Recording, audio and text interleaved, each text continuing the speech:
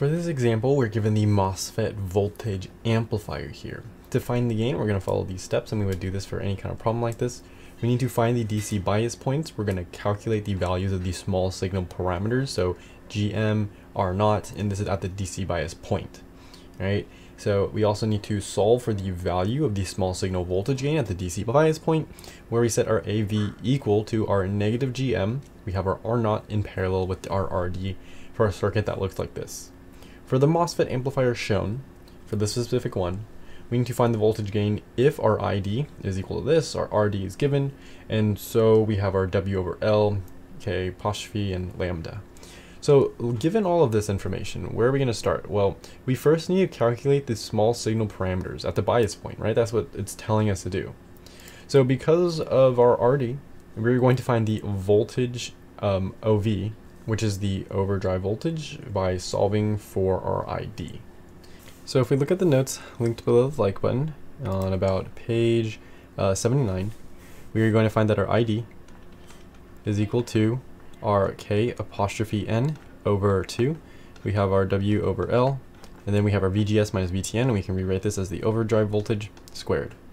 And so we want to solve for our VOV. So let's rewrite this. We're going to have our VOV equal to the square root and then we are going to have our, if we rewrite this out, our ID.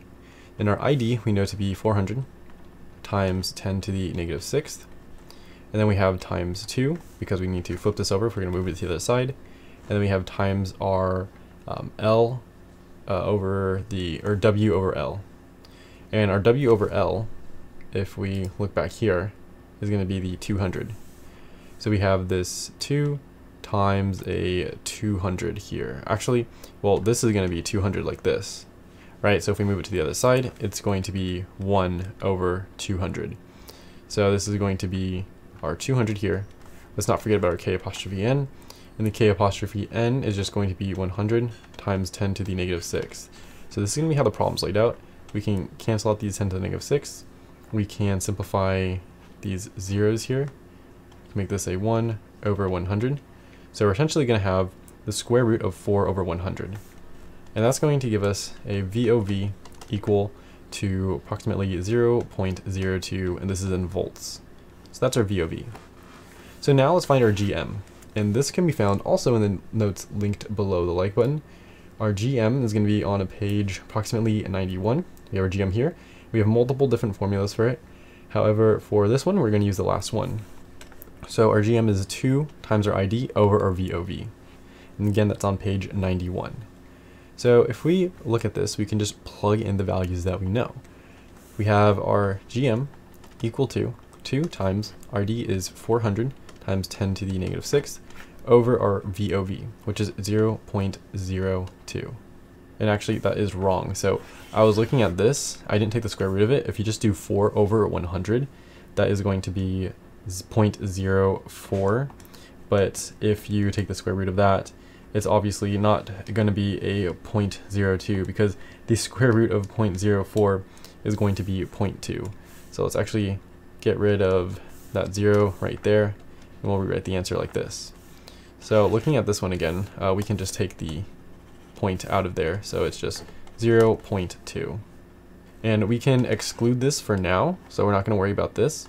Um, and then we're going to have 2 times 400, which is 800, divided by our 0.2 and that's going to give us approximately 4,000 microamps because we didn't use the 10 to the negative 6. So we'll do micro A here. Um, and this is over volts. That's the GM value because we have our ID VOV. So just pay attention to the units. We excluded them here for simplicity. And what we can do now, since this is 10 cubed, this is 10 to the negative 6. Uh, these values are just going to cancel out. So this is going to become a 10 to the negative 3 and this is going to be because it's 10 to the negative 3 it's equal to 1 milli. So we're going to have 4 milliamps over volts right there. So it's a little bit um, a lot of work with the math right here. Uh, we're just plugging in values into the equation. Now we're going to find our RDS which is 1 over the lambda times our ID and so RDS is equal to 1 over if we go back to our problem our lambda here is 0.1 volts to the negative 1. So we're going to have 0.1 um, times our 400. So if we do 1 divided by our 0.1, make sure you use parentheses, um, times the 400, it's going to give us a value of approximately 0.025, and we can rewrite this as 25 kilo ohms. Now we can see that this is actually the same value as our RD here. So now we want to find our AV. So now that we have all of these values, we are going to plug them in and solve for this part. So our AV is equal to the negative GM, and the negative GM we found previously as 4 milliamps, so we're going to do 4 times 10 to the negative cubed. And then we have our R naught in parallel with our RD. So that means so that means that we are going to have 25 times well 10 to the cubed times 25 times 10 to the cubed, or we can just write that as squared. And then we're just going to take this 10 to the cube plus 25 times 10 to the cubed, and we are going to add it all together on top.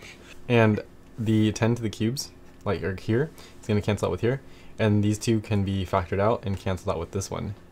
And so basically we're going to have a 50 over 25 times 25 times 4. And this is going to give us a value of AV is equal to negative 50 V over V.